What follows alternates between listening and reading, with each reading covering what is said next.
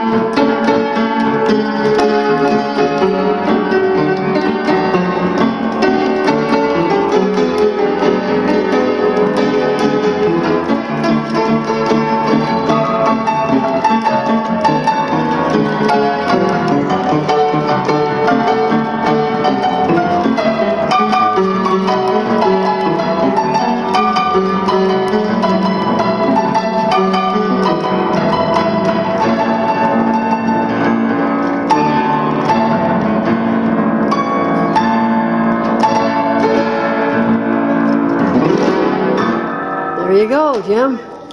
Good job. Oh man, thanks so much. Thank you.